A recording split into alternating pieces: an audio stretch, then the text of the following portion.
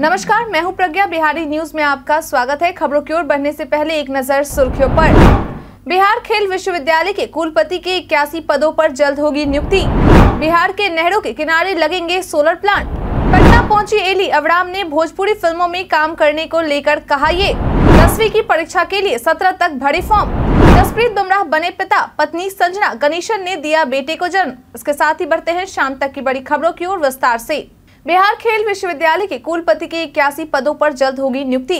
बिहार में खेल संस्कृति विकसित करने के लिए सरकार की ओर से राज्य में खेल विश्वविद्यालय और खेल अकादमी स्थापित करने की प्रक्रिया चल रही है। इसी के तहत पद वर्ग स्वीकृति प्रशासकीय निकाय के द्वारा खेल विश्वविद्यालय के लिए वाइस चांसलर समेत इकतीस और खेल अकादमी के लिए इक्यासी पदों की स्वीकृति दे दी गई है। ऐसे में विषय के चयन की फ़ाइल मुख्यमंत्री सचिवालय पहुँच चुकी है, जबकि अन्य पदों के लिए कला, संस्कृति एवं युवा विभाग के द्वारा राज्य खेल प्राधिकरण और शिक्षा विभाग को पत्र लिखकर आग्रह किया गया है।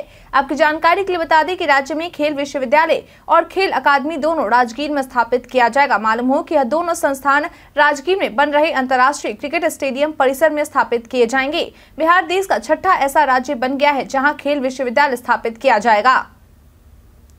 बिहार के नहरों के किनारे लगेंगे सोलर प्लांट। ब्रेडा की ओर से बिहार के नहरों के किनारे सोलर प्लांट लगवाने की दिशा में कार्रवाई शुरू कर दी गई है। बता दें कि शुरुआत में राज्य के दो नहरों का चयन किया गया है, जहाँ सोलर प्लांट लगाया जाएगा। ऐसे में जल संसाधन विभाग से अनापत्ति प्रमाण पत्र मिलने के साथ ही सोलर प्लांट लगाने की कवायद शुरू कर दी जाएगी और फिर अठारह महीने के भीतर बिजली उत्पादन शुरू हो जाएँगे। बता दें की जिन दो नहरों के शुरुआत में चयन किया गया है, वो मिली जानकारी के अनुसार पटना ज़िले में विक्रम के समीप सोन नहर और नवादा का फुलवरिया जलाशय शामिल है, जहाँ दो मेगावाट मेगावाट और 10 मेगावाट का सोलर प्लांट लगाने की तैयारी है। मालूम हो कि एक मेगावाट की स्थापना में औसतन चार से पाँच करोड़ रुपए का खर्च आता है। इसको लेकर सरकार की यही कोशिश है कि मौजूदा वित्तीय वर्ष में टेंडर आदि की प्रक्रिया पूरी कर ली जाए। उद्योग विभाग के कई पदाधिकारियों पर गिरिगाज। उद्योग विभाग के कई अधिकारियों पर काम की लापरवाही को लेकर सख्त कदम उठाए गए हैं। दरअसल विभाग की ओर से सख्त कदम उठाते हुए लखीसराय के उद्योग विस्तार पदाधिकारी उपेंद्र नाथ तिवारी और जिला उद्योग केंद्र सीतामढ़ी के परियोजना प्रबंधक सह प्रभारी महाप्रबंधक विजेंद्र कुमार लाल को तत्काल प्रभाव से निलंबित कर दिया गया है। वहीं इसके अलावा दर्जन भर से अधिक पदाधिकारियों के एक से तीन दिन के वेतन काटने और इससे कहीं अधिक पदाधिकारियों को कारण बताओ नोटिस जारी किया गया है। आपकी जानकारी के लिए बता दें सभी पदाधिकारियों पर राज्य स्तरीय समीक्षा बैठक के बाद उनके कार्यों में लापरवाही बरतने और योजनाओं के क्रियान्वयन में धीमी गति की वजह से विभाग की ओर से यह कदम उठाए गए हैं। ये सभी निर्देश उद्योग विभाग के अपर मुख्य सचिव संदीप पौंड्रिक के द्वारा दिया गया है। बिहार में नहीं बन रहा धानुक समाज का जाति का प्रमाण पत्र आज बिहार के मुख्यमंत्री नीतीश कुमार के द्वारा जनता दरबार कार्यक्रम आयोजित किया गया, जिसमें उन्होंने विभिन्न विभागों से जुड़े कई मामलों का निष्पादन किया। इसी कड़ी में सीएम नीतीश के सामने एक फरियादी अरवल से पहुँचा, जिसने सीएम नीतीश को बताया कि वह धानुक जाति से आता है और उनका जाति प्रमाण पत्र वर्ष दो से नहीं बनाया जा रहा। वे हर जगह दौड़ कर थक चुके हैं, लेकिन धानुक जाति का प्रमाण पत्र नहीं बनाया जा रहा। वही इस शिकायत को सुन सीएम नीतीश कुमार आश्चर्यचकित हो गए। उन्होंने पूछा की धानुक जाति का जाति प्रमाण पत्र क्यों नहीं बन रहा? उन्होंने सामान्य प्रशासन प्रशासन विभाग के अपर मुख्य सचिव को फ़ोन लगाया और इस मामले को तुरंत देखने का निर्देश दिया और फिर प्रधान सचिव दीपक कुमार को अपने पास बुलाकर कहा कि ये सब क्या हो रहा है। हम तो आपको सब देखने के लिए कह चुके हैं। जी बीस के लिए 200 से ज़्यादा ट्रेनें रद्द, दिल्ली जाने से पहले करे चेक अगर आप भी दिल्ली जाने की सोच रहे हैं दिल्ली जाने वाले हैं तो यह खबर आपके लिए है। बता दें कि दुनिया के राष्ट्राध्यक्षों के सबसे बड़े शिखर सम्मेलन जी बीस को लेकर दिल्ली आने जाने वाले 200 से अधिक ट्रेनों को रेलवे की ओर से रद्द कर दिया गया है जिसमें 9, 10 और 11 सितंबर को 207 ट्रेनों को रद्द किया गया है। इसके अलावा छत्तीस ट्रेनें ऐसी हैं जिन्हें रेलवे ने गाजियाबाद हज़रत निजामुद्दीन आदर्श नगर ओखला साहिबाबाद जैसे स्टेशनों पर शॉर्ट टर्मिनेट और शॉर्ट ओरिजिनेट किया है। आपकी जानकारी के लिए बता दें कि भारत नौ और दस सितंबर को जी शिखर सम्मेलन की मेजबानी करने वाला है। ऐसे में 9 से 11 सितंबर के बीच दिल्ली की यात्रा करने वाले यात्रियों को थोड़ा प्लान करने की ज़रूरत है, ताकि उन्हें किसी प्रकार की कोई परेशानी का सामना न करना पड़े। डेंगू संक्रमित पटना के डीएम से मिलने पहुँचे सीएम नीतीश। बिहार की राजधानी पटना के डीएम डॉक्टर चंद्रशेखर बीते चार दिनों से डेंगू से पीड़ित होने के कारण पारस अस्पताल में भर्ती हैं। वहीं आज उनसे मिलने बिहार के मुख्यमंत्री नीतीश कुमार पहुँचे, जहाँ नीतीश कुमार के द्वारा डीएम के स्वास्थ्य संबंधी जानकारी डॉक्टरों से ली गई। बता दें कि डॉक्टरों के द्वारा दी गई जानकारी के अनुसार डीएम की हालत अब पहले से काफ़ी बेहतर है। इनके प्लेटलेट्स में काफ़ी कमी आ गई थी, जिसके बाद इन्हें प्लेटलेट्स चढ़ाया गया और अभी इनका इलाज चल रहा है, लेकिन उनकी स्थिति पहले से बेहतर हो गई है। आपकी जानकारी के लिए बता दें कि सरकारी आंकड़ों के अनुसार अब तक पटना में डेंगू के कुल छियानवे मरीज़ मिल चुके हैं। आंगनवाड़ी केंद्र में शराब तस्करी का कारोबार। बिहार में पूर्ण रूप से शराब बंदी है इससे तो हम सभी वाकिफ है, लेकिन इसके बावजूद भी आए दिन हमें शराब तस्करी से जुड़े मामले सुनने को मिलते रहते हैं।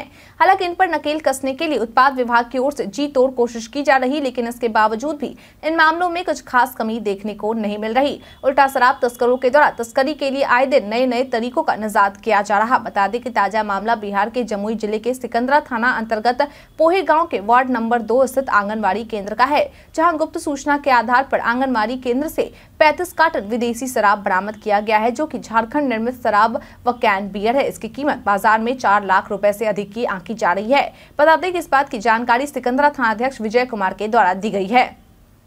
जमुई और बांका में लगेगा सोलर पावर प्लांट। बिहार के जमुई में 125 मेगावाट और बांका में 75 सहित कुल 200 मेगावाट क्षमता के सोलर पावर प्लांट लगाए जाने को लेकर योजना से जुड़ी सतलज जल विद्युत निगम के द्वारा जमुई के लिए आवश्यक 500 एकड़ ज़मीन के विरुद्ध लक्ष्मीपुर अंचल में 231 एकड़ ज़मीन और बांका में आवश्यक 300 एकड़ ज़मीन के विरुद्ध चकाई के गरी तेलवा में 225 एकड़ ज़मीन की रजिस्ट्री प्रक्रिया पूरी की जा रही है।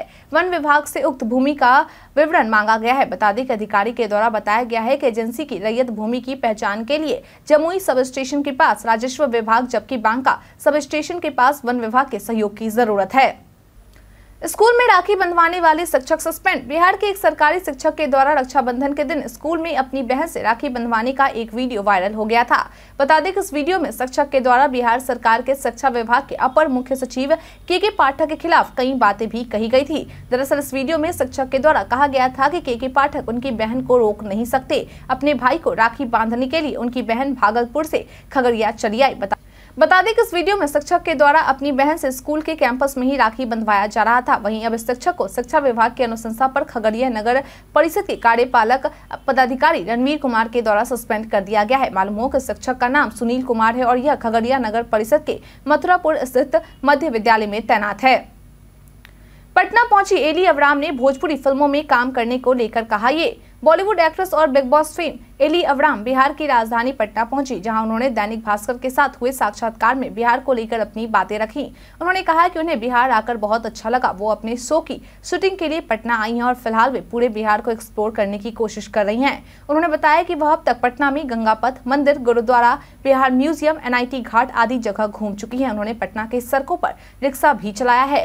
एली ने बताया की उन्हें बिहारी खानों का भी स्वाद लिया है, जिसमें उन्हें लिट्टी चोखा का स्वाद आज भी याद है। इसके अलावा उनका पसंदीदा स्नैक मखाना है और उन्हें मौका मिलता है तो वो मखाना को भी एक्सप्लोर ज़रूर करेंगी। वही उन्होंने भोजपुरी फ़िल्म में काम करने को लेकर कहा कि अगर उन्हें अच्छी स्क्रिप्ट मिलती है तो वह भोजपुरी फ़िल्मों में ज़रूर काम करेंगी।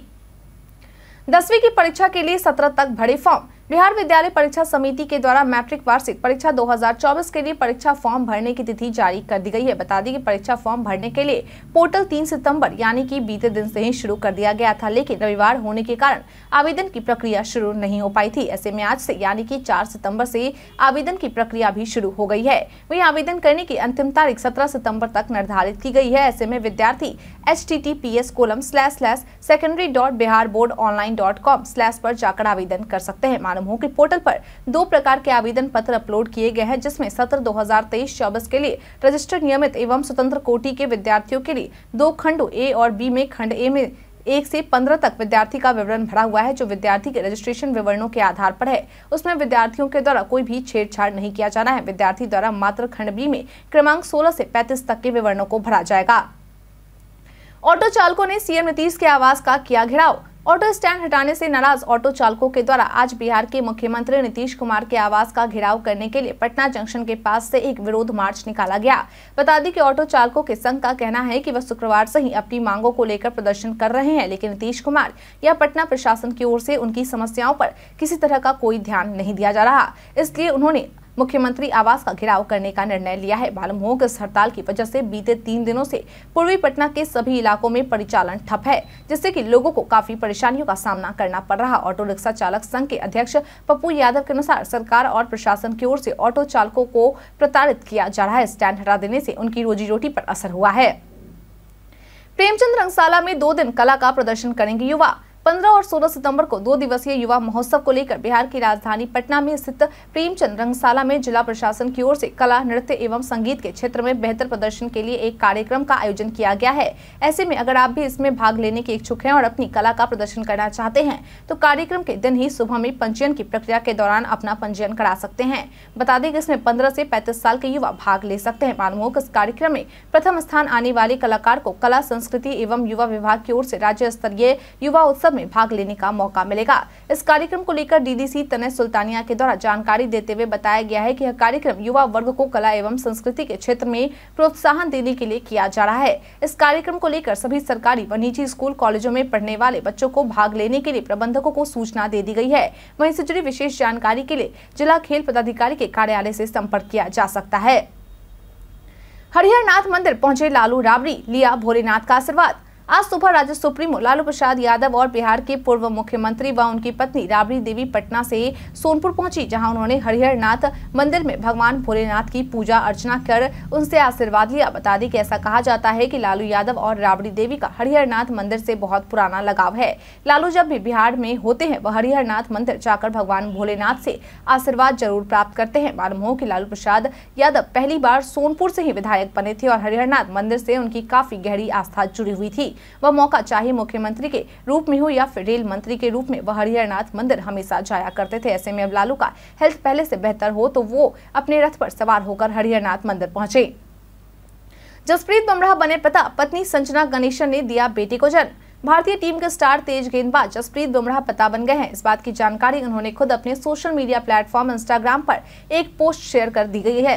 उन्होंने इंस्टाग्राम पर पोस्ट शेयर करते हुए लिखा है कि हमारा छोटा परिवार अब बड़ा हो चुका है और दिल खुशियों से भरा हुआ है। आज हमें इतनी खुशी मिली है जितनी हमने कभी सोची नहीं थी। उन्होंने अपनी खुशी का इजहार करते हुए लिखा कि आज सुबह हमने अपने छोटे बेटे अंगद जसप्रीत बुमराह का स्वागत किया। वे बहुत खुश हैं और अपने जीवन के इस अध्याय में जो कुछ भी आने वाला होगा, उसके लिए इंतज़ार नहीं कर सकते। वहीं इस पोस्ट को शेयर करते हुए उन्होंने कैप्शन में दिल की इमोजी भी लगाई। आपकी जानकारी के लिए बता दें कि उन्होंने अपने बेटे का नाम अंगद रखा है।